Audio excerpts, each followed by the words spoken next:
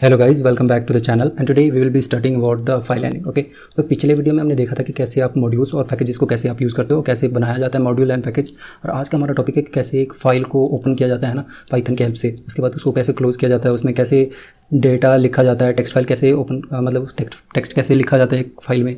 उसके बाद उसको रीड कैसे किया जाता है, हम सभी ये सब टॉपिक आज कवर करेंगे, ठीक है?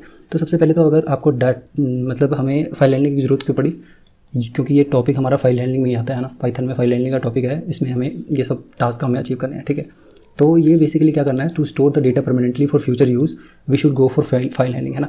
फ्यूचर आपने एक बार प्रोग्राम लिख दिया अब आप चाहते हो कि आप फ्यूचर में उसे यूज़ कर सको आपको एक टेक्स्ट ही टेक्स्ट में अपने डॉक्यूमेंट लिखे कुछ भी उसमें डॉक्यूमेंटेशन किया आप, आप ऐसा तो नहीं है कि आप वो नेक्स्ट टाइम वो इरेज हो जाएगा है ना?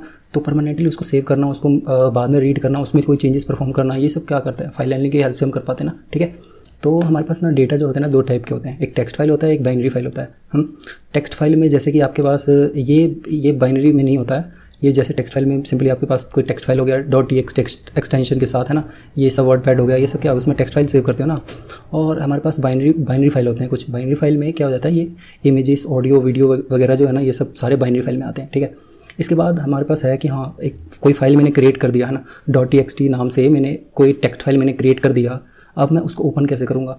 तो इसके लिए हमारे पास पाइथन में एक बिल्ट इन फ़ंक्शन है ओपन नाम से, ठीक है? ओपन नाम से है, मैं ऐसे इस फ़ंक्शन का यूज़ करूँगा, उसके पैरामीटर में मैं फ़ाइल का नाम, जो आप, जो कोई फ़ाइल का होगा ना, जो आपने कोई फ़ाइल का नेम होगा, उसका फिर T dot T X T नाम से उसको सेव किया होगा ना अपने अपने पीसी में आपने तो बस मैंने वो फ़ाइल यहाँ पे लिखना है, ठीक है? इसके बाद मैं एक मोड लिखूँगा, ये मोड के बारे में हम आगे देखते हैं ये मोड है क्या, ठीक है? So basically mode represents the purpose of opening the file हम हाँ हम किस लिए वो मोड फ़ाइल को ओपन कर रहे हैं, उसमें लिखने के लिए कुछ ओपन कर रहे हैं या फिर उसमें से रीड करने के लिए कुछ लिख ओपन किया हम, है ना? रीड के लिए या राइट के लिए या फिर कोई अपेंड के लिए, ये सारे ऑपरेशन क्या करता है ये हमें मोड ही बताता है, ठीक है? तो मैंने सपोज़ मैंने ए बी सी नाम से मैंने कोई फ़ाइल बनाया, ठीक है? ए बी सी नाम से मैंने कोई फ़ाइल बनाया डॉट ई एक्स इसमें मैंने कुछ लिखा हुआ है ऑलरेडी या तो ये एम भी हो सकता है ना? तो इसको रीड करने का क्या क्या है? आपने सबसे पहले अपना फ़ाइल नेम डालना है, ठीक है? इसके बाद मैंने यहाँ पे डब्ल्यू लिखा है मतलब कि मैं इसको राइट मोड में मतलब मैंने इसमें लिखना है, ठीक है? ये फ़ाइल या तो एम होगा या तो कुछ भी हो, बस मैंने इसमें लिखना है हाँ? तो मोड यहाँ पे है डब्लू मतलब कि राइट मोड ये सारे मोड हम देखते हैं कि ये कैसे आप हमारे पास और कौन कौन से मोड है हमारे पास, ठीक है? तो हमारे पास मोड कुछ ये आर आर है मतलब आपने बेसिकली ये सेकंड पैरामीटर में ये आर लिखना है या डब्ल्यू लिखना है ना? इसी को हम देखते हैं कि इसका टास्क क्या है हाँ? क्यों हम लिखते हैं? आर का मतलब ये है कि अगर आपने कोई फ़ाइल को रीड रीड करने के लिए ओपन करना है, ठीक है? पहला पहला पैरामीटर क्या है? वो फ़ाइल नेम आपका फ़ाइल नेम और दूसरा पैरामीटर यही आर आर और आपने ये ओपन फ़ंक्शन में डाल देना है इसको, ठीक है? और इसको असाइन कर देना किसी भी फ़ाइल से, फिर बाद में आप इसको प्रिंट कर सकते हो प्रिंट एफ़ है ना? तो इसके बाद हमारे पास दूसरा है डब्लू है ना? इससे आर से तो आप रीड कर सकते हो। डब्लू से आप क्या करोगे? डब्लू से आप कोई फ़ाइल में आप लिख सकते हो अपना, है ना? कोई फ़ाइल में लिख सकते हो। या तो वो फ़ाइल एम हो या कुछ लिख सकते हो इसमें, ठीक है? ये इसमें एक प्रॉब्लम है कि ये ओवर कर देता है डेटा को प्रेजेंट जो, है ना? तो सपोज़ मेरे पास कोई, मेरे पास फ़ाइल में ऑलरेडी कुछ पड़े हुए हैं डेटा ठीक है? ऑलरेडी कुछ पड़े हुए हैं मतलब मैंने यहाँ पे नेम सेव किया हुआ है सपोज़ एम कुछ भी नाम सेव किया हुआ है, ठीक है? अब दोबारा से मैं क्या कर रहा हूँ? मैं डब्ल्यू के मोड की हेल्प से मैं क्या कर रहा हूँ? इसी फ़ाइल में मैं कुछ सेव करने की कोशिश कर रहा हूँ। तो ये क्या करता है? ओवर कर देता है। मतलब इस डेटा को हटा के ना, इस डेटा को हटा के ये जो पहले पिछले जो पर प्रेजेंट था इसमें, इस डेटा को हटा के जो आपने प्रेजेंट कुछ लिखा है ना, जो आपने पहले प्रेजेंट में उसमें कुछ भी राइट किया है, वो इसमें लोड कर देता है, ठीक है? मतलब कि आपका पिछला डेटा लॉस्ट हो जाता है, ठीक है? ये हम कोड देखेंगे, तब आपको समझ आएगा, ठीक है? तो इसके बाद एक ऑप्शन आता है अपेंड का। तो ये जो राइट मोड में जो है ना एक्सेप्शन जो हमारे को लॉस है, ये अपेंड के हेल्प से आप ये क्या करता है, ये पिछले वाले में तो ओवर कर देता है ना, पिछले वाले डेटा को रिमूव कर देता है ये, है ना? जो आपके पास ऑलरेडी प्रेजेंट डेटा था, उसको ये रिमूव कर देता है। बट अपेंड क्या करता है, इसको रिमूव नहीं करता है, इसके आगे ऐड कर देता है ना? ये जो पिछला वाला डेटा है, वो तो है ही है, इसके आगे कुछ और एडिशन कर देता है, ये अपेंड का काम ये है, ठीक है? उसको ओवर नहीं करता है। इसके बाद हम एग्ज़ाम्पल में जब देखेंगे ना तो आपको ज़्यादा क्लियर हो जाएगा। मैंने सारे कोड लिखे हुए हैं इसके। इसके बाद हमारे पास एक ऑप्शन आता है आर प्लस का, है ना? आर प्लस में क्या होता है कि इसमें पहले क्या करते हैं हम? पहले रीड ऑपरेशन करते हैं फ़ाइल को रीड करते हैं, उसके बाद हम इसमें कुछ लिख सकते हैं। राइट मतलब उसमें बाद में राइट ऑपरेशन करते हैं, ठीक है? डब्ल्यू प्लस में होता है कि इसमें पहले आप लिखोगे, उसके बाद इसको रीड करोगे फ़ाइल को, है ना? एक साथ ही मतलब मोड में मैं दो ऑपरेशन का के लिए मैं एक एक ही मोड मेरे पास, है ना? दोनों दो ऑपरेशन के लिए हमारे पास एक मोड पड़ा है डब्ल्यू प्लस का, ठीक है? जिसमें कि बेसिकली आप राइट और रीड दोनों ऑपरेशन कर पाओगे, ठीक है? इसके बाद हमारे पास है ए प्लस का। इसमें क्या कर रहे हैं हम? अपेंड कर रहे हैं। अपेंड डब्ल्यू और ए में हमने फ़र्क देख लिया था ना, ये क्या करता है? ओवर कर देता है डेटा को। पिछला डेटा को हटा के ये न्यू डेटा डाल देता है, ठीक है? लेकिन अपेंड क्या करता है? पिछला डेटा रहने देता है और ये अपेंड कर देता है। जो आप न्यू डेटा ऐड कर रहे हो बेसिकली वो उसके एंड में ऐड हो जाता है, ठीक है? तो ए प्लस क्या है? ए प्लस यही है कि ये पहले, ये अपेंड करेगा, उसके बाद डेटा को रीड करेगा, ठीक है? तो हमने इतने सारे मोड्स कवर कर लिए। इसके बाद मैं आपको कुछ एग्ज़ाम्पल दिखाता हूँ। ओपन करने का तो ये था, है ना? यहाँ आपने यहाँ पे फ़ाइल नेम लिख देना, उसके बाद आपने जो यहाँ पे मोड इनमें से कोई भी मोड आपने लिखना इसमें ठीक? इसके बाद हमारे पास, मैंने फ़ाइल ओपन तो कर दिया, मैंने उसमें लिख भी दिया, है ना? सब कुछ कर लिया। इसके बाद हमने क्या करना होता है फ़ाइल को क्लोज भी करना होता है सो so दैट कि उसमें कोई ऐसा कुछ एक्सेप्शन ना आ जाए, है ना? एरर ना आ जाए, कुछ, उसके कुछ डिलीट ना हो जाए बाई मिस्टेक कुछ। अगर कोई इंपॉर्टेंट डेटा है ना? तो एफ़ डॉट क्लोज का भी आपने यूज़ करना है, ठीक है? फ़ाइल के जो जितना आपने ऑपरेशन कर लिया एंड में जाके आपने एफ़ डॉट क्लोज लिखना है, ठीक है? इसके बाद हमारे पास है एक कि अब लिखने के मतलब कैसे कैसे लिख सकते हैं, ठीक है? हमारे पास जैसे अपने ये पिछले में देखा कि इस ये मोड्स हैं बेसिकली है ना? अब डेटा को लिखे कैसे अपने फ़ाइल में हाँ? ओपन के लिए ये फ़ंक्शन है, ठीक है? वैसे ही हमारे पास लिखने के लिए क्या है? राइट नाम से फ़ंक्शन है, ठीक है? इसके बाद राइट लाइन्स नाम से फ़ंक्शन है। दो हैं मतलब बेसिकली इन दोनों के पर्पज़ अलग अलग हैं, हम इनको कवर करेंगे, ठीक है? बेसिकली इसके बाद क्या है? While writing data by using the write compulsory provide the under back slash and else the data should be return in a single line ठीक है? यहाँ पे क्या हो रहा है? कि मैंने पहले A B C dot T X T ये फ़ाइल मैंने ओपन किया, ठीक है? ये फ़ाइल मैंने, आप या तो इसको एम क्रिएट कर दो और इसका नाम ये लिख दो A B C D dot T X T नाम से कोई फ़ाइल ओपन कर दो। फिर उसके बाद आपने एक्सटेंशन डाल, यहाँ पे मोड डालना है। मोड मतलब मैंने कौन सा डाला है? डब्लू मोड डाला है ना? मतलब कि ये राइट करेगा हाँ? ये क्या करता है? डब्लू का एक प्रॉब्लम यह है कि ये ओवर कर देता है डेटा को। मतलब कि ऑलरेडी अगर आपके फ़ाइल में कुछ डेटा प्रेजेंट है तो वो उसको रिमूव करके ये डेटा जो आप अभी लिख रहे हो, उसको ऐड कर देगा ठीक है?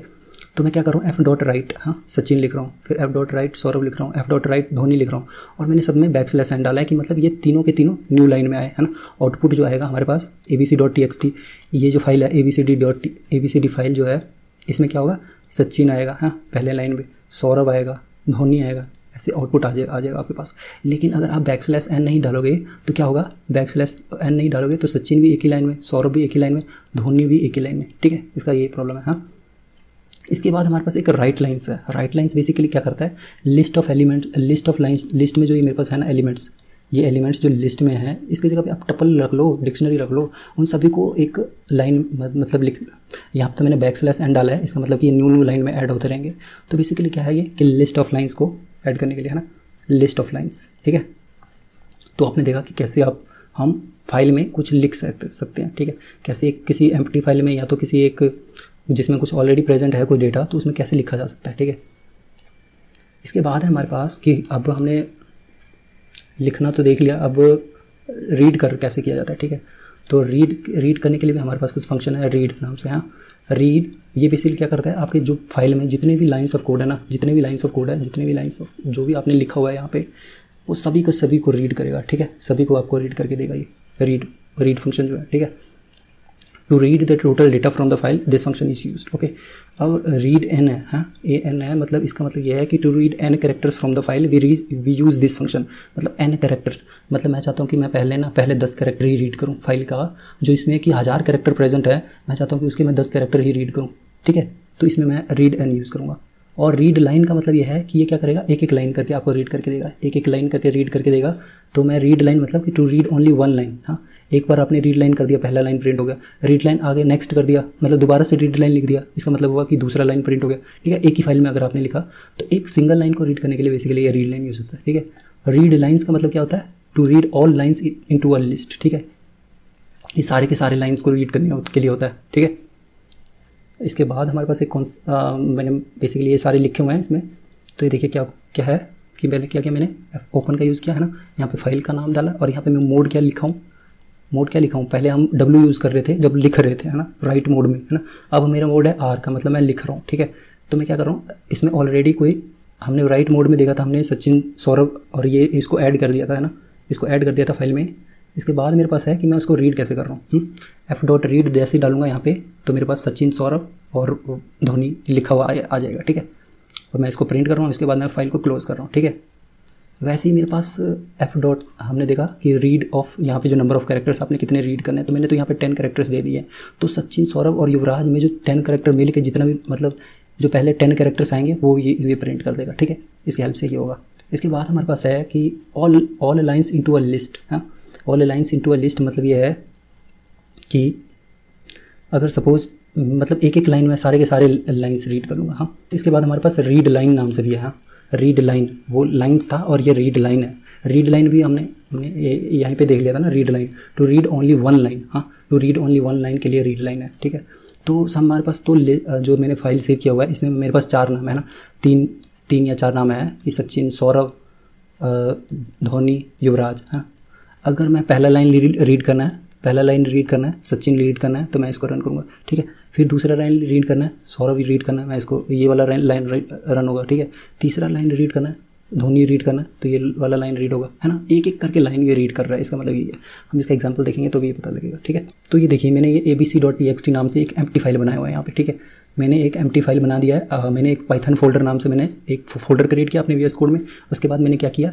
A B C dot T X T नाम से एक फ़ाइल क्रिएट कर लिया dot T X T file है मतलब कि इसमें रॉ टेक्स्ट सेव होगा ठीक है? और ये बिल्कुल एम है हाँ एम है बिल्कुल ये इसके बाद मैं क्या कर रहा हूँ, ये फ़ाइल को मैं ओपन कर रहा हूँ, है ना? वैसे ही ओपन कर रहा हूँ ओपन नाम से फ़ंक्शन है। उसके बाद मैंने डॉट टी नाम डाला, उसके बाद मैंने मोड डाला। मतलब कि मैं पहले इस फ़ाइल जो कि ये एम है तो मैं क्या रीड करूँगा? एम फ़ाइल में से क्या रीड करूँगा? जब तक मैं उसमें कुछ लिखूँगा नहीं तो मैं रीड क्या करूँगा, है ना? राइट मतलब ये ये तीनों लाइन मैं लिख रहा हूँ, और मैंने बैक स्लैश एन डाला है मतलब कि ये है कि ये एक मतलब स्पेस मतलब एक एक लाइन छोड़ के लिखेगा, ठीक है? न्यू लाइन में लिखेगा। उसके बाद मैंने एफ़ डॉट क्लोज डाला, ठीक है? अब मैं जैसे ही इसको रन करूँगा, मैं जैसे ही इसको रन करूँगा तो ये देखिए, इसके बाद जो वो एम था, यहाँ पे आ गया वो लाइन सारे आ गए। सचिन, सौरभ, धोनी आ गया लाइन है ना? आ गया ना आउटपुट में। तो हमने देखा कि कैसे आप उसको फ़ाइल को ओपन कैसे कर सकते हो, ये डॉट टी एक्स वाली फ़ाइल को, उसके बाद आप उसमें लिख कैसे सकते हो? मैंने ये चार लाइन में लिखा, इसको सारे नाम, ठीक है? तो राइटिंग टेक्स्ट टू फ़ाइल हमने A B C dot T X T में लिखा हमने, ठीक है? तो बात यहाँ पे ये है ना कि राइट के नाम से हमने देखा था कि राइट में क्या प्रॉब्लम आती है, कि ये ऑलरेडी यहाँ पे प्रेजेंट है ना? यहाँ पे ऑलरेडी प्रेजेंट है। तो ये क्या करेगा? इसको ओवर कर देगा। इसको ओवर कर देगा मतलब अगर मैं इस फ़ाइल को दोबारा से रन करूँगा ना, अगर मैं इस फ़ाइल को दोबारा से रन करूँगा तो इसको तो दोबारा से यहाँ पे चार बार प्रिंट हो जाना चाहिए, सचिन, सौरभ, धोनी, युवराज, है ना? चार बार फिर प्रिंट होना चाहिए, लेकिन ये नहीं करता। ये क्या करता है? पिछले वाले को रिमूव करके ना, दोबारा से उसको ऐड कर देगा, ठीक है? तो सपोज़ मैं इसको इसको यहीं पे रहने देता हूँ, ठीक है? इसमें ये लिखे हुए हैं सारे, और मैं इस फ़ाइल को दोबारा रन करता हूँ, ठीक है? तो आप देखिए कि वहाँ पे वो दोबारा से प्रिंट हो रहा है कि नहीं हो रहा है। नहीं हुआ यहाँ पे है ना? नहीं हुआ क्योंकि वही पुराना वाला ही अचार तो हमने देखा कि ये ओवर कर दिया बेसिकली है ना? उसी वाले को रिमूव करके ये न्यू वाला आ गया हाँ? अगर पुराना वाला रहता तो, तो ये पहले वाले चार रहने थे उसके आगे भी फिर चार ऐड हो जाता तो वो नहीं हुआ ना? तो हमने देखा कि कैसे आप ओपन और राइट का यूज़ कर सकते हो ठीक है? इसी से इसी को हटाने के लिए क्या करते हैं हम? एक हमारे पास अपेंड नाम से आता है। अपेंड नाम से आता है instead of overriding if you want to append the data then we should go for ये अपेंड अपेंड मोड में जाएँगे ठीक है? तो ये क्या करता है? कि इसको ये ओवर नहीं करेगा। ये एक न्यू लाइन ऐड कर देगा यहाँ पे। न्यू लाइन ऐड कर देगा। आपका अपेंड वाला ऑपरेशन जो है अपेंड मोड जो है ना अपेंड मोड एक न्यू लाइन ऐड कर देगा। तो मैं सपोज़ मैं इसको रन करता हूँ, ठीक है? तो हमने डब्लू मोड देखा था ना? डब्लू मोड हाँ। अब अपेंड मोड देखते हैं। तो जैसे ही मैंने इसको रन किया तो ये लाइन यहाँ पे ऐड हो गया। ए I am appending this line using append mode हाँ अपेंड मोड हो गया। बेसिकली क्या किया? ये इसने ओवर तो नहीं किया ना, इसको हटाया तो नहीं ना। इसको हटा के ये लाइन तो नहीं लिखा ना। एक पिछला वाला लाइन रहने दिया और ये ऐड हो गया, ठीक है? तो हमने देखा कि आप अपेंड का अपेंड मोड का कैसे यूज़ कर सकते हो। इसके बाद हमने देखा था कि राइट लाइन है ना? राइट लाइन जो कि बेसिकली क्या था? ये एक एक लिस्ट ऑफ़ एलिमेंट्स को लिखेगा ना? लिस्ट ऑफ़ एलिमेंट्स को लिखेगा। तो मैं इसको लिख के देखता हूँ कि कैसे ये कैसे राइट करता है। तो हमने डब्लू मोड में ना डब्लू मोड में है तो क्या करेगा? ये ओवर कर देगा फिर से, है ना? ओवर कर दिया, है ना? तो सचिन सौरभ युवराज फिर से प्रिंट हो गया, है ना? तो हमने और राइट लाइन कैसे फ़ाइल को राइट कैसे यूज़ करना है डब्लू मोड कैसे यूज़ किया जाता है ए मोड कैसे यूज़ किया जाता है, इसके बाद सारे के सारे डेटा अगर हमें रीड करने हैं सारे के सारे डेटा अगर रीड करने हैं मेरे को तो मैं रीड कम रीड रीड फ़ंक्शन का यूज़ करूँगा और यहाँ पे मोड मैंने क्या डाला है आर डाला है ना? तो मैं इसको प्रिंट करता हूँ। तो ये देखिए, मेरे पास सचिन सौरभ, धोनी, युवराज आ गया, है ना? सचिन सौरभ, धोनी, युवराज आ गया, सारे के सारे वहाँ पे जो हमारे फ़ाइल में प्रेजेंट थे, सचिन सौरभ धोनी युवराज प्रिंट हो गया, है ना? अगर मेरे को सिर्फ़ टेक्स्ट दस लाइन ही दस करेक्टर्स ही रीड करने हैं तो मैं बेसिकली इसको रन करूँगा हाँ। इसको मैं रन करके देखता हूँ, फिर देखिए आउटपुट क्या आ रहा है। सचिन एस ओ यू है ना? ये टोटल काउंट करके ना दस कैरेक्टर्स बनेंगे, ठीक है? तो आपने रीड और उसके बाद आपने ये जितने कैरेक्टर्स आपने रीड करने हैं, वो डाल देना है, ठीक है? इसके बाद अगर सिंगल लाइन सिंगल लाइन आपने यूज़ रीड करना है तो मैंने रीड लाइन का यूज़ करना है हमने, है ना? तो देखिए तो ये सचिन, है ना? पहला लाइन पहला लाइन प्रिंट हो गया, है ना?